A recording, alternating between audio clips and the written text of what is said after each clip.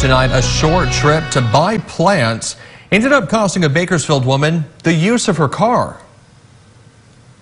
I went in to Home Depot, me and my sister. We were only in the garden section for 20 minutes.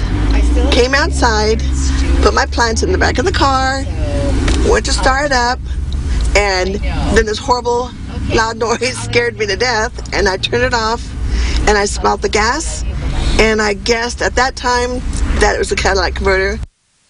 That was Cheryl Powell. She uses a wheelchair and was parked in a disabled spot close to the store on Rosedale Highway when the theft happened. Powell says she only has one car, which is hand controls that allow her to drive. That car now has to be sent to a repair shop.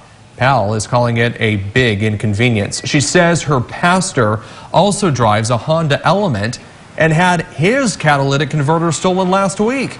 His mechanic says Honda's catalytic converters are, quote, a really hot item right now. No arrests in these cases have been made. And a catalytic converter theft prevention event slated for next month in Lamont is now sold out.